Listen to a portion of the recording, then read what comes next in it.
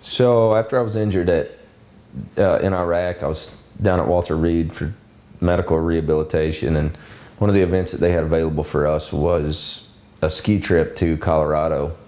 And when I got out to Colorado, I was really hesitant at first about trying monoskiing. It was something to me that, that I saw as being a wheelchair on snow. And so reluctantly I went out, I tried it, and I just decided after being in the monoski for five minutes maybe, it was the first thing that made me feel free again. I felt like like I could I could be a normal person. It was back to not what my disability had to offer, but what I could do in a monoski. It was back to just just being normal, um, and I just fell in love with it. One of my goals initially was to make the U.S. ski team and then be able to to make the Paralympic. In 09, I made the the U.S. team and then ended up making the the Paralympic team in, in early 010 to be able to go to uh, Vancouver and compete there. And I was qualified for two events, ended up running three events, got an eighth and a tenth, and then got uh, uh, disqualified in one for missing a gate.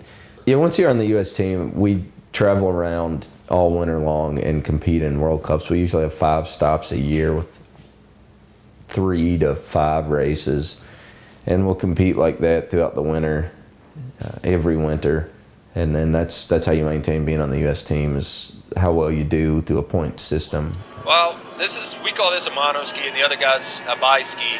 Uh, you only see you know one maybe two countries that run the bi ski, and basically for me this allows me to run the same angulation that an able-bodied ski racer would to level out my shoulders and to actually make the turns uh, much as they would. And for me, I feel more stable on one ski uh, with the two.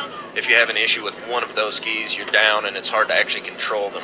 Well, you know, for us, we don't have any knees, anything to absorb, so we use that shock and suspension to take everything that we can. You know, Sochi was it was definitely a lot different than Vancouver. I think uh, one being in a non-English speaking country was was challenging first of all, and then the conditions were definitely different than Vancouver. Vancouver it was very much winter it was still cold. It was nice out, um, you know, as far as winter goes, and, and we were able to compete on the same sort of conditions that we had had all season long that we competed on. But Sochi um, was at lower elevation. Spring was right around the bend, and, and the conditions were warmer. The snow was warmer. It was melting very rapidly, and uh, caused the courses to deteriorate a lot faster than we had originally expected.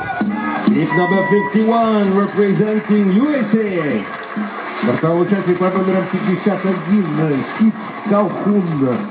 You know, being on the monoski, it's definitely you know, it's kind of hard to describe, I guess, but it's it's a, it's a great feeling. It's a lot of fun. Uh, for me, it, you know, initially, especially, it was like being whole again. It gave me a way to do things, and being out on that, you know, speeds get upward of, you know, I think the fastest I got at this Paralympics was 65 miles an hour, and you know that that's you know moving on one ski, and so it's uh, it, it's definitely it's fast, it's fun, uh, it, really enjoyable feeling just to be out there and, and ski. All in all, you know, I was really happy with with getting silver, and uh, I wanted to medal, I wanted to bring something home, and so. I definitely accomplished my missions, and um, you know, I feel like I did uh, did really well over there. The things that I've been able to do, um, there's no way 12 years ago, um, 10 and a half years ago that I could have said, you know, I think in the next 10 years of my life, and it it's actually scary to me because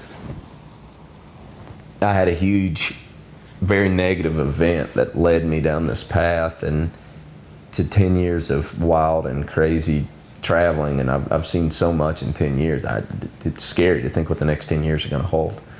Um, you know, right now we're still kind of rolling on the high from being Paralympian and silver medalist, and so um, it's trying to settle back into normal life, if you will, and uh, just just go back to being me. You know, we still get guys back every day, and I hope those guys can get to the point where they, they're just normal guys again. And like I said, it's it's been a long route for me, and um, but that's that's really I think that's really and truly what I want right now is just be a normal guy, um, and it's it's it's cool. It's a cool experience. It's a cool feeling to know that um, you know. And again, I, I've said more than once that I don't think the rehab ever really stops, but it feels like it's paid off at this point. You know, the the rehab has has definitely paid off in in regards to the fact that I started out as a normal guy. Um, if we'd have passed on the street 10 years ago, you probably wouldn't have taken a second look at me. And, and at this point, minus my legs, I don't think, um, unless you know who I am, you probably wouldn't either. And I think that's really cool. That's, that's just where I want to be.